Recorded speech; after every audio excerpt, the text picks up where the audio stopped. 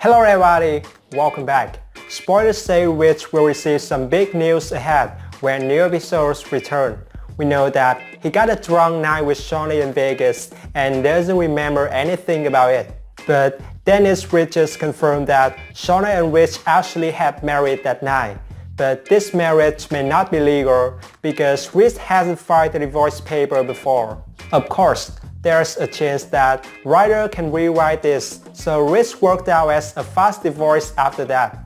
But in fact, Ridge was still married to Brooke when he married Shauna, so that marriage is invalid. When Ridge starts to remember something about that night, he will remember his wedding with Shauna in Vegas. So what if Ridge decides he's all on this marriage despite the wacky way it came together? Ridge may see a future with Shauna, one where she is his wife, Shauna can show him his impulsive side, so he would just want to embrace his new life with her. So with that in mind, will he propose Shauna again and sweep her off her feet? Spoilers say Shauna will be in a state of pure bliss soon, so it means Ridge will do something to her. And certainly, she will say yes if Ridge asks her to marry him again.